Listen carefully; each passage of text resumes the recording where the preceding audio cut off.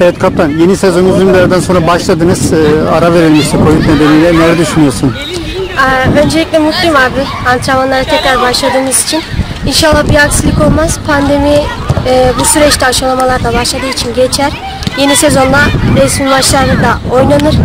Çünkü yaklaşık yanlış bilmiyorsam bir buçuk yıldır falan resmi maç yapamıyoruz. Ee, bir antrenmanlara başlıyoruz. Yasaklar geliyor, bir şeyler oluyor. Sürekli kesik kesik antrenman yapmak zorunda kaldık. Aç kapı oldu değil mi? Böyle devamlı Evet. gel git oldu. Evet. İnşallah dediğim gibi e, pandemiyi de atlatırız. Resmi maçlara da başlarız. Peki nasıl bir horoz kent spor olacak yeni sezonda?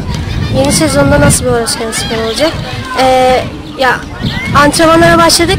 İşte her zamankinden farklı bir Orasken olacak. Özellikle son oynanan resmi maçlardan sonraki Horoskent'in daha da üstünde bir Horoskent olacak inşallah. Bunun yönünde çalışmalar yapıyoruz Özkan hocamızla birlikte. İnşallah bu sene hedefimiz zaten birinci lige çıkmak. Evet. Bunun için de elimizden gelenin en iyisini yapacağız. Peki teşekkür ederim başarılar. Teşekkür ederim.